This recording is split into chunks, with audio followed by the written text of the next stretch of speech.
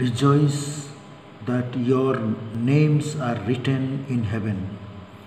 Luke 10:20 Job rejoiced that he got his wealth back, got again seven sons and three daughters, so gra- grandchildren, great grandchildren, and lived 140 years, then died old and full of years. Seventy disciples were empowered by Jesus to cast out demons in their ministry. They rejoiced that they are that the devils obeyed them.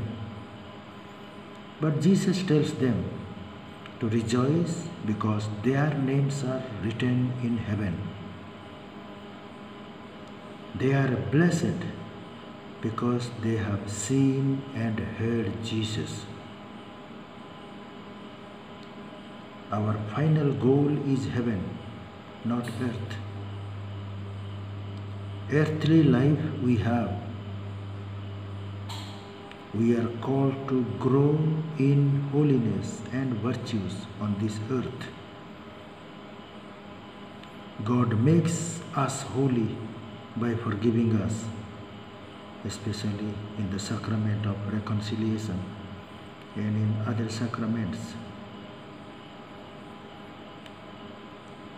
We can grow in virtues of faith, hope, and love every day. We can grow in human virtues, justice, prudence, temperance, and courage. So, have confidence in the power of Jesus Christ to overcome evil.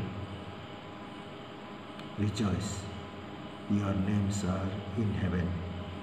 Thank you.